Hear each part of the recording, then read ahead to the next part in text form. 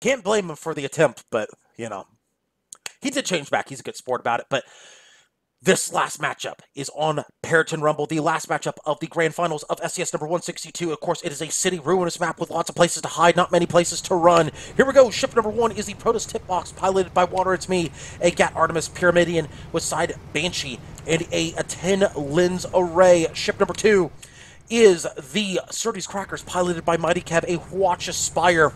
Brawlspire with Gatling, Mortar, and Gatling. Ship number three is the Friendfish, piloted by Dementio, a Watchafish with side Caro and Gatling. And ship four, Team Rocket, piloted by Spudnik.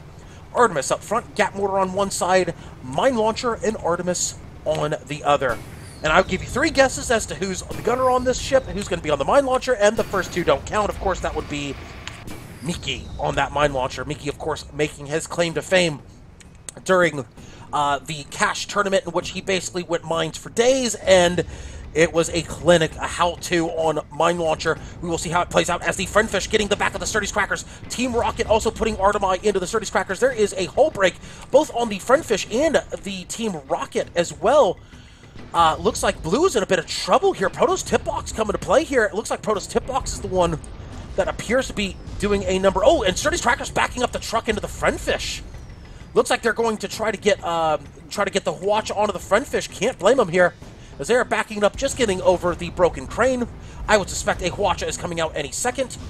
And there's the hull break on the friendfish, but Protoss Tip Box is in a awkward position here.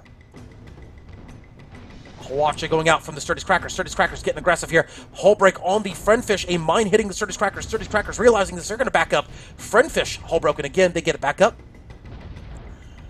Artemi going into the Protoss tip box. Friendfish now with the watch into the Surtees Crackers. Surtees Crackers getting Hope broken. Uh, excuse me, Friendfish getting Hope broken again. Friendfish losing their watch as well as all guns on their ship. Yeah, this appears to be a situation where everybody is content to just chip away at each other. Nobody's really looking for the big play just yet. Kind of a feeling out process in this final matchup of SCS number 162. Both teams not looking to get too aggressive each side has a way to counter the other. The Hwacha fire on one side. You've got, of course, the Mine Launcher on Team Rocket, plus the Hwacha on the Friendfish. Blue going more control, red going more kill. And right now, the kill side is beating the control side. And Protoss Tipbox with that Artemis trying to do things not really able to do much right here. Friendfish looking for cover. Sturdy's Crackers looking to get aggressive. They are going to move around the mines. Keb looking to get aggressive. Will Protoss Tip Box follow, or will they take the lead? Sturdy's Crackers looking to back up here. Can't blame them. They need Protoss Tip Box. If I'm Protoss Tip Box, if I'm Protoss Tip Box, what do you do here? Do you actually go in aggressive for Sturdy's Crackers? Do you take the aggressive approach? Do you let Surtees Crackers take the front? This is this is an interesting decision. Team Rocket's going around the corner. It looks like Red deciding to play it safe, and their decision may pay off as Team Rocket not able to do anything there. And looks like Red realizing this is probably not the best decision to move in. They're just going to hang out right now. Red looking to turn the corner. They get spots. Surtees Crackers realizing this. They're not going to make the move. Looks like it's a game of cat and mouse. Whoever makes the first mistake is going to be the first death. Both teams playing very, very cautiously. And you can't blame them for playing cautiously. You can't blame them. Proto's tip box apparently might be trying to bait. Blue out here as they're getting shots out onto the friend fish. And there's a watch. It looks like Red has decided now's the time to get aggressive here. Now is the time. Surtees Crackers getting watched for their efforts. Proto's tip box moving in. They're home broken. Friendfish is, appears to be the target for Red as a mine goes out still just not able to get those mines in the in in a place that can stop Sturdy's Crackers, but that's not a, that's not the fault of the gunner at that point, nor is it anybody's fault really. It's just a matter of Red playing a very, very patient, surprisingly patient game, and a, a refreshing change of pace from Sandwich Predators not normally known for their passiveness, not normally known for their defensive tendencies. They're normally a, a very aggressive team, especially Mighty Kev, who is showing great patience here. As Friendfish turning the corner, Team Rocket may be turning the corner. Looks like Friendfish is probably going to go for a backdoor flank here. With the Team Rocket looking. Uh oh, Team Rocket getting caught out there on, on an island. Sturdy's Crackers looks like they're going to make a beeline for this Team Rocket. Yes, they are. Friendfish forced to turn the corner. Team Rocket, hole broken. Team Rocket is in big trouble here. Friendfish moving in aggressively on the Sturdy's Crackers.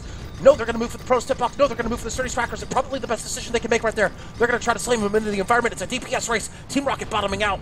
Friendfish trying to get the ram kill. No, they're not going to get it. Sturdy's Crackers backs up and Protoss Tip Box wins the DPS race.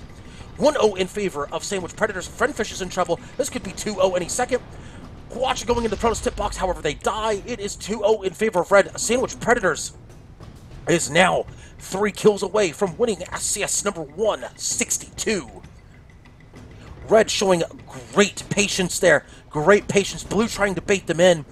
And by showing that patience, they showed controlled aggression, catching Team Rocket in a bad spot, catching them in a very bad spot in a 1v2. And then the 1v1 was won from there as um, Crackers was forced to tank it against a potentially uh, awkward position. It worked out for him. It worked out. That's all that matters. The controlled aggression worked 2 0 in favor of Red, but that was dicey for the Sturdy's Crackers for a couple seconds there. But they made it work, and now Friendfish and Team Rocket back in the picture. And now it looks like uh, both sides looking to spot each other. They've got the spots out as Team Rocket moving in, looking to blast off again. And those rockets definitely blasting off into the Protoss tip box. However, Sturdy's Crackers... Oh, Sturdy's Crackers has something here. Friendfish is out of position here. Team Rocket's in trouble. Two Gatlings going into them. That is Daka, much Daka, very Daka going into the Team Rocket. They're hole broken already. Oh, they could die here. Friendfish very late into the party here. Friendfish finally getting that Hwacha in to the Protoss tip box, the rest of it going into the Sturdy's Crackers. A good decision taking out all those guns. A very smart decision waiting. Team Rocket now back in the picture. They've lost a lot of perma hull for their efforts. Friendfish hull broken though. Friendfish is hull broken. That Spire feeling very inspired right now. They're going for the Team Rocket. This is probably a good choice right now. Going for the Team Rocket. A well-timed Hwacha, and they are going down as the Team Rocket. Friendfish, meanwhile, looking to get aggressive on the Sturdy's Crackers. Oh, Sturdy's Crackers may have gone too far out. They are right next to environment. Friendfish sees this. Sturdy's Crackers sees this as well. They're going to go for a sandwich here. Sandwich, uh, Predator Sandwich going for the sandwich here. Or Sandwich Predators, I should say.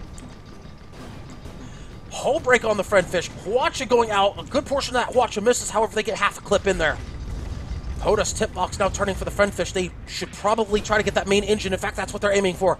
That main engine appears to already be out. Sturdy's Crackers looking to get the Gatling into the Friendfish. Hull break on the Friendfish. That should be a kill right there. That should be a kill. The Hwacha follow-up should do it. Indeed, it does. 3-0 in favor of Red. Sandwich Predators now two kills away from winning SCS number 162. Team Rocket at 15% perma. They are in a world of hurt right now against two red ships that are in almost pristine condition. Sturdy's Crackers.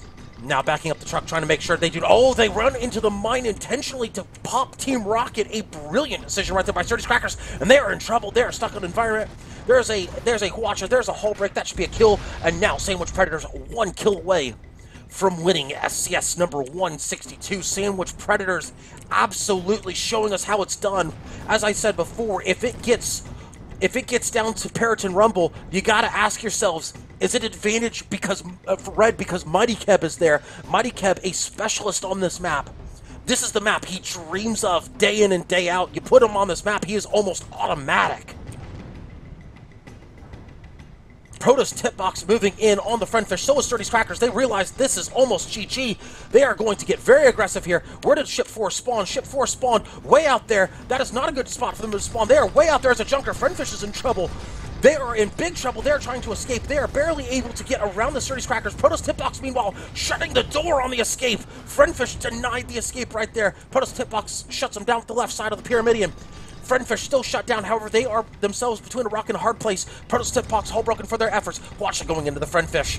Protoss Tipbox is in trouble. They may go down. They do indeed go down 4-1 in favor of Red. However, Blue finally on the board. Blue has to run the table to win SCS number 162. They have to run the table. Friendfish, however, is hull broken. They're getting shots into the Friendfish. They might have something here at a 1v2.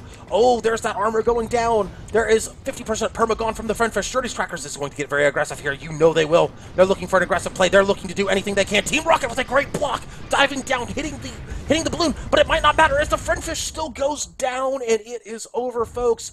Sandwich Predators wins SCS number 162 by a score of 5 to 1. Well done by Sandwich Predators. Well done by all of our teams here today. And that is going to do it, folks, for Sunday Community Skirmish number 162. Thank you so much for tuning in to this tournament, folks. I will have VODs up most likely tomorrow, maybe Tuesday. Thank you so much for tuning in. Once again, my name is Lysanya. Not Lasagna, signing out for the afternoon and for all of our referees and for Solidus Bucket. Uh, our referees, of course, today were um, Earbud Music and Dianoli. Thank you so much for tuning in, folks. Good night, everybody.